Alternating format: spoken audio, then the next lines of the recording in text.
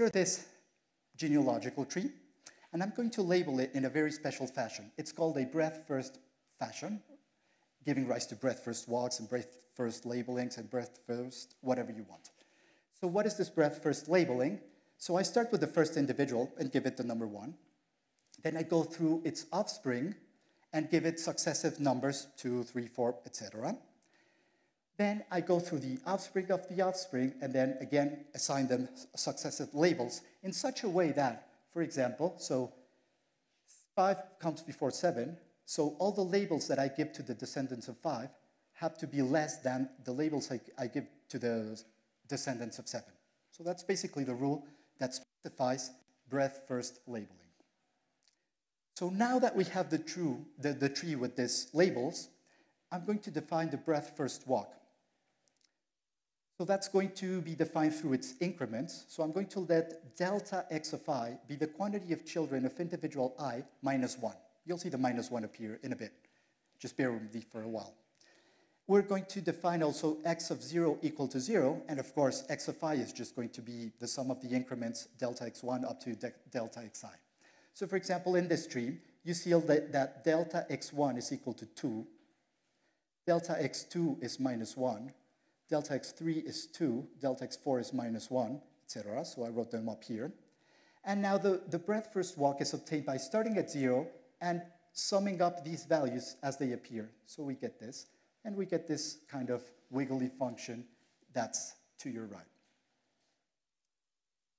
So these functions are called either Łukasiewicz paths or just the breadth first walks, and they satisfy the following they have jumps of size greater than minus 1. They are non-negative until we re reach the last value, which is equal to minus 1. So we call, call, call these kinds of paths excursions. Uh, so they start at 0 and at the end at minus 1, uh, remaining above 0 during the whole trajectory. So um, I'm going to explain uh, a very nice relationship between uh, the sequence of generation sizes in the tree, which is what I initially told you I was going to be interested in, and the breadth first walk on the tree. So again, we let chi of i be the quantity of children of individual i. So this is the, like our delta xi, except that it has a, a plus one. It doesn't have the minus one. And suppose we want to count the number of individuals up to generation n, right? So this is 1 at generation 0, 4, uh, 7, 11, etc. So all individuals up to generation n either are, well, the initial individual or descend, descend from somebody up to generation n minus 1, right? So if I will count all, the, all of the individuals up to generation n, if I sum all of the offspring of individuals up to generation n minus 1 and the initial individuals. So we're not really interested in, of, uh, in Cn, but rather in the differences, Cn minus Cn minus 1, which give us the successive generation sizes. So I'm going to subtract Cn from this bit, and I could just do it by subtracting 1 from each one of the chi's. And that's where the minus 1 from the last slide come in, comes in. So that's, so I, I did the subtraction here, and what I get is that the quantity of individuals at generation n is equal to, to the quantity of initial individuals plus the breadth first walk at time cn minus 1. So this gives us a recursive procedure to compute from the breadth first walk uh, the sequence of generation sizes. And just uh, to give you a taste of what's uh, coming afterwards, if we did this in continuous time, uh, the analog of this would be a, a, a, differential equation that would be written like this. So x would be kind of like the continuum analog of a breadth first walk. Uh, this would be the cumulative population, and this would be the, you know, generation sizes.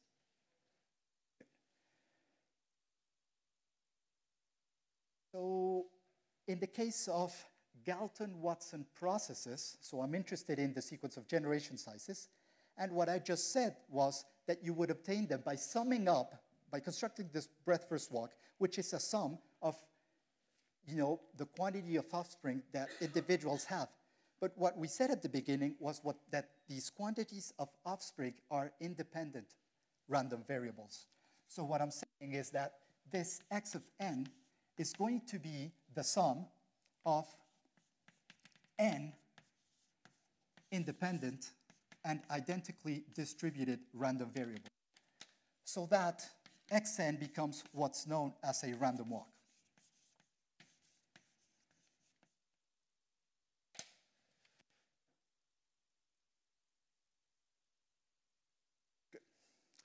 So uh, one thing that comes out from all of this analysis that we've just made is that if I start with a random walk and solve this stochastic recursion, I would end up with a Galton-Watson process.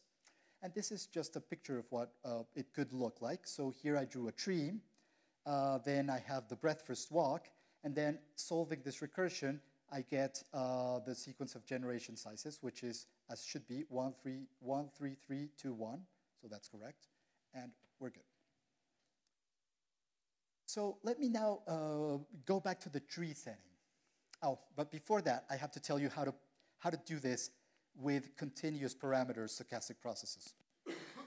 so again, I told you that a random walk is just the sum of independent and identically distributed random variables. But when they come from trees, they're very special in that all of these increments are greater than or equal to minus one. So they're a very special kind of random walks. They're called skip-free to the left, or just skip-free. And one thing one could do with these walks is kind of to construct a continuous time stochastic process is to scale them. You see, I can run the, the, the random walk for n steps, but do it in one unit of time.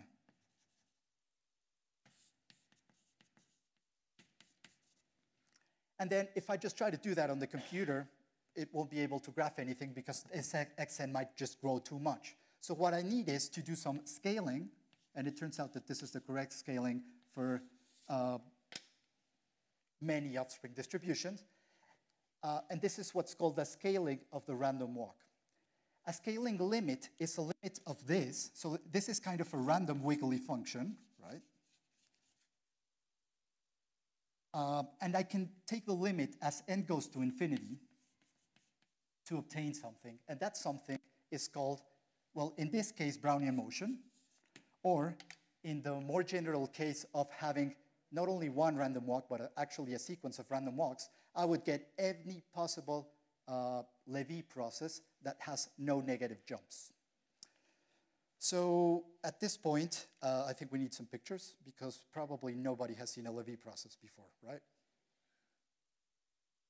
Oh, I see some people lying, huh? Good, so let's put some pictures of Levy processes. So here's one. Um, we have to wait till it stops. So I showed you approximations to a Levy process, and this is what, it what these approximations converge to. So it's these kind of wiggly random functions with discontinuities all over the place. Uh, so you might think that they're very complicated because the offspring, so the, the, the, the, the distribution of these random variables is just completely general, right? So you, you, you might think that there's no hope of describing all Levy processes, but actually you can describe them. You can, can describe them uh, in terms of what's called the Laplace exponent. So we have completely determined all the possible Laplace exponents that can appear, and I'll show you the formula afterwards. Uh, but what I want to say here is that this Laplace transform, this Laplace exponent is very similar to the generating function of Galton-Watson processes that I showed you before, in the sense that it's convex, and it might look a bit like this, and that we're also going to be very interested in the greatest root now of this convex function. We'll get to that, hopefully. Just as I did scaling, oh, I might, um, I won't. Uh, just as, as, we did scaling limits for random walks, one could do scaling limits for Galton-Watson processes. So these scaling limits are now very easy to obtain once we know that there's scaling limits for the random walks. Why? Because we have a way of constructing the Galton-Watson process out of the random walk by solving this recursion. So what, what comes uh, out of that analysis is that the scaling limits of Galton-Watson processes are called, well, we call them continuous branching processes, their name, uh, and they solve this random ordinary differential equation. So why did I call it a random differential equation? Well, because this is a random function, right? Once you fix that function, then you just have a differential equation to solve. Except that it's a very complicated kind of differential equation because remember that for most Lévy processes, uh, the set of discontinuities is dense, right? So it's a really discontinuous function. So you might think that there's no hope ever of solving this equation, but it turns out that, well, well that's what we did here. And uh, yes, one can not only show that solutions exist and are unique under some conditions, but also that if you apply, you know, the most naive method you can think of, of for solving a differential equation, and that would be Euler's method, right? It converges. Right? Even though this has a dense set of discontinuities. So these uh, continuous branching processes are also kind of determined by a Laplace type exponent, except that now the, the, the, dependence on t is very complicated, and this Laplace exponent solves another differential equation where you see the Laplace exponent of the Lévy process appear, right? So here's the Lévy process and the branching process. Here, it's the, the Laplace uh, exponent of the Lévy process, and here you have kind of the Laplace exponent of the branching process. So very well, we can now uh, understand that um, there's kind of scaling limits for these Galton uh, Watson processes, and that might make us think that there are also limits for the random uh, genealogical trees uh, that we can build from Galton-Watson processes. So that is correct, and that was actually proved by Aldous in uh, 19, well, in a sequence of papers between 1991 and 1993. We call it the Continuum Random Tree Trilogy. And uh, so the, the statement of the result is as follows. You're going to fix a technical condition, don't read it, uh, distribution uh, for the offspring. Uh, you're going to assume that it is critical. It means that the population becomes extinct with probability one. And that it has this finite variance condition. Don't worry too much about it. It's uh, very generic, and interesting things happen when it's not satisfied. And you, def you define now tau m to be a Galton-Watson tree, but you're going to force it to have n vertices, right? So you're going to, you know, throw your dice and see your, the, your uh, population evolve until you see one of those family trees that becomes extinct exactly when it has n individuals. So that's your Galton-Watson tree condition to have n vertices. And remember that I told you that you can think of a tree as a, as a metric space. So here's the distance in that metric space. And what you're going to do is you're going to alter the distance by dividing it over the square root of the number of individuals. And now you're going to take a limit of this metric space. So there's a whole theory uh, that tells you how to deal with limits of metric spaces, and so weak limits of random metric spaces.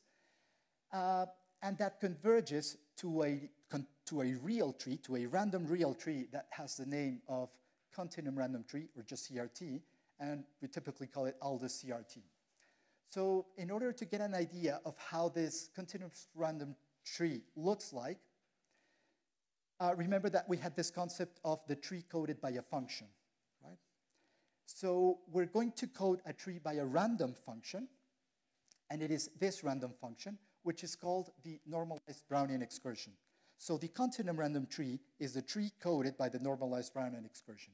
And uh, just so that you get an idea of how another Lévy process looks like, here's the normalized Brownian excursion, and we get it out of a process called Brownian motion, which is the one I wrote here, which is the, your prototypical continuous Lévy process. So it's a Lévy process which is not discontinuous all the time.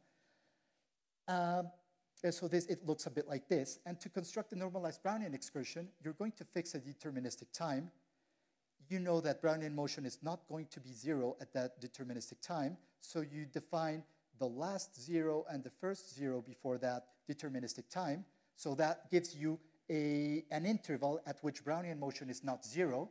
Now you take absolute value of that, and you kind of shift things a bit so that it's defined on 0, 1, and you have the correct spatial scaling, and that's called the normalized Brownian excursion. So in summary, the normalized Brownian motion through the normalized Brownian excursion gives you access to the most famous continuum random tree, or random real tree. Now we're going to pass to a chronological model on trees. So this is uh, a model called the splitting tree model. And in this model, time will be continuous. So now, what, what is a chronology and how it differs from a genealogy? Well, in a genealogy, we have no notion of time. You know, we have individuals and their offspring. They, they, they define the successive generations. But in, chronolo in chronologies, I have to, to specify, besides all these genealogical structure, what are the birth and the death times of each one of the individuals, and at what time do the offspring uh, uh, appear in the population. So our model considers uh, uh this chronological aspects as follows. We're going to consider a population in which individuals live for a certain lifetime. It's going to be random during which they reproduce, right? So along, so here I represent the lifetimes as vertical uh, segments. And so time flows upwards. And along these uh, lifetimes, there's going to be moments at which the individual just reproduces. At each reproduction event, only one offspring will come to life, here and this is done at constant rate throughout the whole lifetime. So yeah, a constant rate is a phrase that means, uh, that is very clear for probabilists, but maybe it's not clear for the rest of the population. And, it, uh, and it's hard to explain. So one way to explain it is to say that on any given interval, there will be a random number of individuals. And once I fix that random number, say it was equal to 3 for this, then I will place the birth times uniformly on this segment. Three of them, right? Good, so that's at rate, okay, so at, and you know, the probability that case equals 3 depends on this lambda, which is the oh no, that's constant rate b, right? So it depends on the birth rate. So we're going to assume, again, that the lifetimes of different individuals are just independent. Uh, so everything is independent of everything else in this uh, population. So it gives uh, rise to these kind of uh, pictures where, you know, I have uh, vertical lines representing uh, lifetimes, and the horizontal dashed lines just give us a, sen a, sense of descendants, right? So this, this individual, represented by its lifetime, descends from this other individual, right? Good. So one thing that's interesting about this uh, model is that one has a genealogy and a chronology. So the genealogy, how do, how do I get, for example, the generation of this individual? Well, I just need to see how many times I have to uh, kind of uh, go through these dashed lines. So here there's one, two, and then three. So the generation of this individual is three. So there's a genealogy embedded in this, in this, in this model. Good. So, and since there's a genealogy, we have several notions of branching processes that we can consider. For example, we could consider the quantity of individuals that are alive at a given time t. So I fix a time t, and I just count how many individuals. So for example, here there's only one, here there's two, uh, here there's like five, etc. We could have another branching process, which is just the size of the nth generation, and that turns out to be, in this splitting tree model, a Galton-Watson process. And then there's a third one that I won't worry too much about. So there's a very particular case that's very dear to uh, probabilists and uh, nuclear scientists, and that's called the Yule process. And it is a, a model in which individuals just live forever. Why not? And so we have this first individual, lives forever, and at constant rate, you get its descendants. And now the first branching process, so that's the quantity of individuals alive at time t, it's what's called the Yule process, and it, you know, we can, one can make some, a whole bunch of explicit computations with this process. It's a, it's a very well-known uh, stochastic process. But we're interested in the general ones where this lifetime is random rather than deterministic as in here. So using the Galton-Watson process that's embedded in this population model, one can actually deduce from you know, the Galton-Watson analysis of uh, extinction that these genealogical or chronological trees are finite almost surely if and only if uh, this parameter m, which is equal to the birth rate time the mean times the mean lifetime, is either less than or to 1 in the subcritical case or equal to 1 in the critical case. In the supercritical case, there is positive probability that these trees will just be infinite. Will go on forever. So I'll explain now a way in which one can explore this tree in order to get a Levy process or a Levy type process. So one is going to explore all the lifetimes of all the individuals, starting with the initial individual of the population. And lifetimes will be explored from top to bottom. So we start exploring the lifetime, and then suddenly we will get interrupted by this birth event. And when we're interrupted by a birth event, we just go to the top of the lifetime of the individual that was born.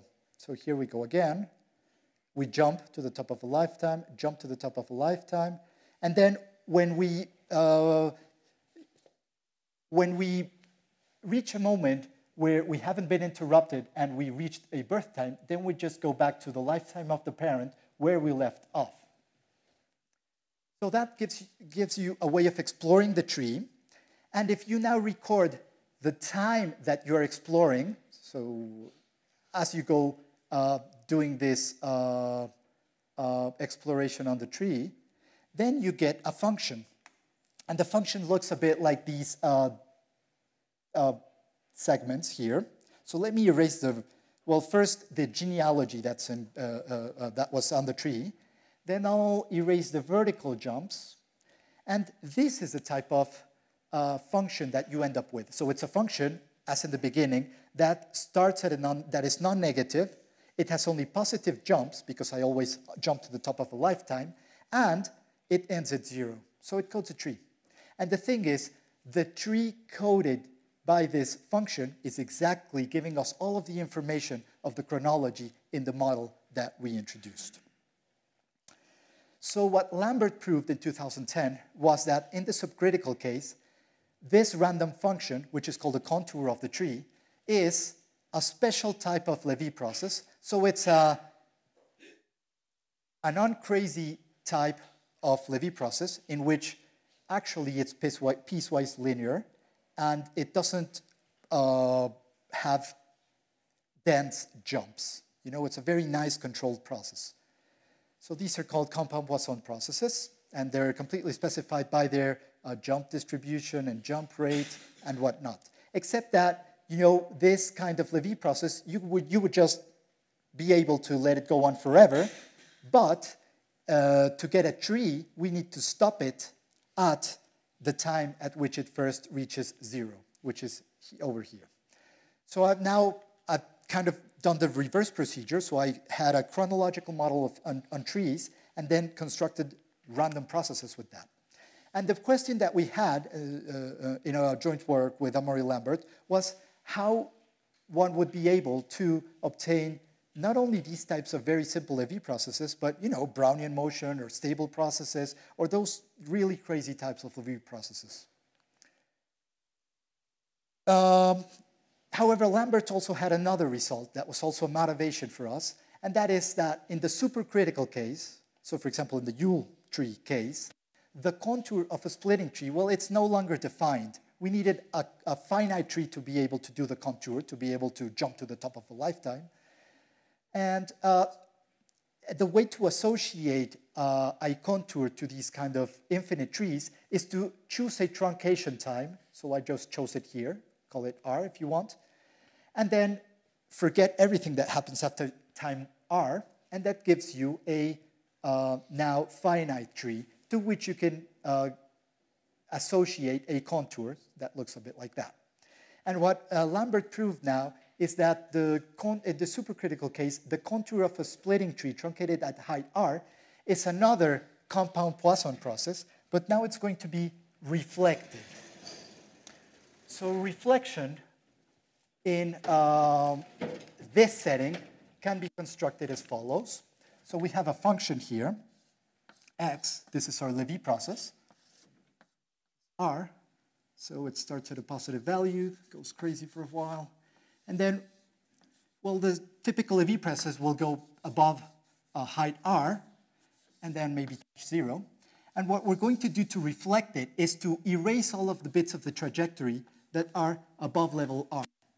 We do this through what's called the techniques of time change, and uh, done by defining first AT of r to be the quantity of time that the process has spent above time r. And then, you know, this is a continuous uh, non-decreasing function, which might have intervals of constancy or whatnot. And what we're going to do now is to construct what's called the generalized inverse, which just needs you to you know, shift ahead and see this as a function now uh, defined on this interval. And whenever you see an interval of constancy, it means that this function jumped. And then we uh, define x of r to be x of c of r and that effectively removes all of these parts of the trajectory where the process is above uh, level R. So that's how you construct a uh, Levy process reflected below level R. So that um, gives us access to supercritical splitting trees and Levy processes. Good. So now I'm going to tell you how to do all of these things with a general Levy process and that goes through the uh, excursion measure, which I'm going to define right now. So remember that Levy processes are characterized by their Laplace exponent, and now I have written the formula of what they look like. So it's basically a very simple function plus a totally inaccessible one. You see, so here you have some quadratic terms, linear terms, you know, independent terms, and here you have a measure, and this measure is telling you how your process, your Levy process will jump. So if this is an infinite measure, your Levy process will just jump all the time. It will have dense jumps. Uh, whereas if this is zero, then your Levy process will be continuous, and it'll be basically a Brownian motion with drift and killed at a certain rate. So now I'm with any, so with any Levy process that might look a bit like this, I'm going to define the reflected Levy process. How? By first constructing the cumulative minimum process. So here's the cumulative minimum. You see this, you know, I'm, I'm constructing the minimum as I go along, the minimum value I've observed as I go along. And then I'm going to subtract the value of the process from this cumulative minimum. So that looks like that. And then we change it. And this is out of the original Levy process that I had, I constructed a new Markov process that looks a bit like this. Good, so that's the reflected Levy process. And now I'm going to construct its excursion measure. So this is a very kind of complicated type of random process because it kind of has these excursions above level zero, except that one thing I haven't told you about that is that if you consider the set of times such that this reflected process is at zero, then, and you close it, then this is a perfect set. So yeah, this is one way in which probabilists like to construct uh, random perfect sets using the zero set of their favorite stochastic process. What that means in terms of these excursions is that they're not like clearly delineated, as I said here. There's no next excursion, right? Between any two excursions, there'll be an infinite number of excursions, right? So we can order them. And so one way in which have, we have found a way to, to, to, to study them is through what's called the excursion measure. And that's just simply a sigma finite measure mu such that uh, if we consider for this process only the excursions of length greater than epsilon n, there's only a finite uh, number of them on any compact interval. Uh, their distribution, we call it, we call them mu of n. Then this measure mu encodes all the measures mu of n. So this measure mu is a sigma finite measure on trajectories that are of the excursion type. So they start at zero, typically they might start at a non-negative value and end at zero. So it's the kind of functions that we love for constructing trees. And so in the case where our Lévy process x is uh, subcritical, and that means this function here has b equals zero, then we will associate to it a random real tree that is the tree coded by x under the excursion measure n. And that's one way in which we can associate to any Lévy process these uh, random trees, random real trees. So, mm, this, you don't really need to look at it. Do you? No. Oh, well, yes, because I have to tell you how you do this construction in the supercritical case, and that's actually pretty a bit complicated. So what you're, in your supercritical case, the thing is that your stochastic process x will go to infinity, and so there's one excursion of infinite length, right? So the excursion measure can actually be decomposed as its action on uh, finite excursions and uh, its action on infinite excursions. And the infinite excursion bit here, this is a probability measure that is equal to the law of the post-minimum process of your process. So that's what this excursion measure is. But we need something else in, in order to be able to construct a locally compact real tree. And that is a sequence, actually, of excursion, of compatible excursion measures. So I'll just briefly go through that. So let me tell you how you can construct locally compact, forget the Tom thing here, uh, locally compact trees out of now sequences of functions. So imagine you had a tree. It's locally compact, it's infinite. But you truncate it at level R, so it's now a compact tree. It has a contour, that's FFR. And these contours are, well, okay, so Either the trees are compatible under truncation or the functions are compatible under time changes. And we say that that happens when, you know, you, you fix your sequence of levels going to infinity at which you truncate. And then when you truncate at level R of n, the, the, the tree that was truncated at level Rn plus 1, then it gives you back the level, the, the tree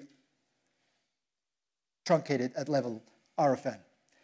So if you have a sequence of trees that is compatible under truncation, then you can construct a unique locally compact tree such that truncating it at level R of n gives you your nth tree in the sequence. And that's how you construct a locally compact tree out of a sequence of compact trees. You can do that the same at the level of functions. So now I need to do that at the level of random functions. And that's what the next uh, slide should be about.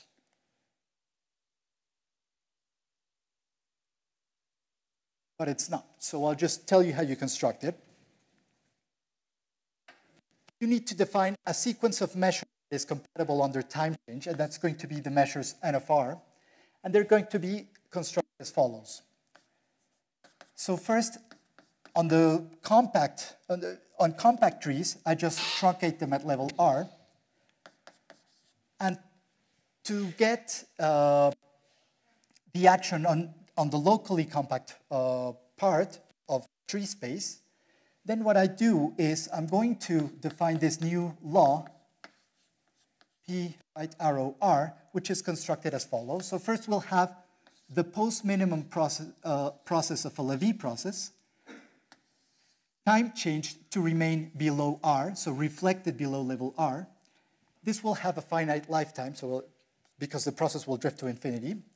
And at this point, we're going to uh, paste some other Lévy processes that are also reflected under time R, and which might also have a finite lifetime. And we're going to keep on doing that until one of these processes reaches zero. So this is now a function that's defined on trees that are truncated at level R. And one can prove that this sequence of functions is compatible under uh, truncation so that one can define a unique measure n on locally compact trees such that truncating the tree, the locally compact tree at level R, we get precisely this measure n of R. So that's how you construct uh, locally compact trees associated to any Lévy process. So finally, I'm going to state a very, uh, it's a nice theorem, uh, but it's slightly technical. And it has to do with the genealogy that is encoded by these types of chronologies. So uh, I'll just say then that for these types of trees that we just constructed, one can build a genealogical tree by a very complicated construction involving what probabilists call uh, local time. Uh, so we can do that. That's what's said here. And then on this locally compact tree, now we have a locally compact tree, we have a notion of infinite lines of descent.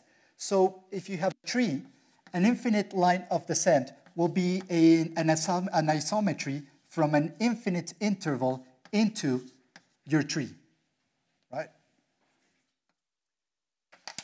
So that's an infinite line of descent. And so here's, uh, uh, we represented a tree with infinite lines of descent and some compact trees that are grafted to this infinite line of descent. So under our measure on genealogical trees, one can define the process that counts the number of individuals that are sitting at an infinite line of descent at distance a from the root. So if this is distance a from the root, we'll see that here I think we have five uh, uh, infinite lines of descent, whereas here we have only one infinite line of descent. So this process turns out to be a Galton-Watson process. So we just came back to where we started. We can compute explicitly its jump distribution and jump rate. So this is these horrible looking expressions. But the thing to note about them is that they're completely determined by the same quantities that determine your Lévy process. And finally, that there's a version of the counting process for non-prolific individuals and that, you know, counting process is not really a counting process. It's a Radon-Nikodym derivative, but don't worry about all that. There's a, a way to define this uh, of measuring non-prolific individuals, and it turns out that just as for supercritical Galton-Watson trees, the couple of process Z1 and Z2 is a two-type branching process that can be completely specified, and I think I'll end with that. Beautiful formulae that completely specify this two-type branching process in terms of three Lévy processes that govern the reproduction of prolific individuals, uh, giving rise to prolific individuals, the reproduction of prolific individuals giving rise to non-prolific individuals, and the reproduction dynamics of non-prolific individuals. Uh, thank you very much.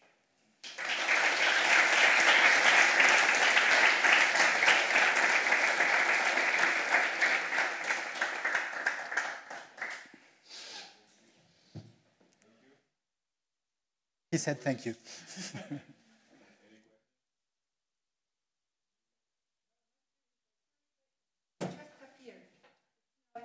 yes, so sorry, I uh, probably compiled a wrong version of the bibliography. it just appeared.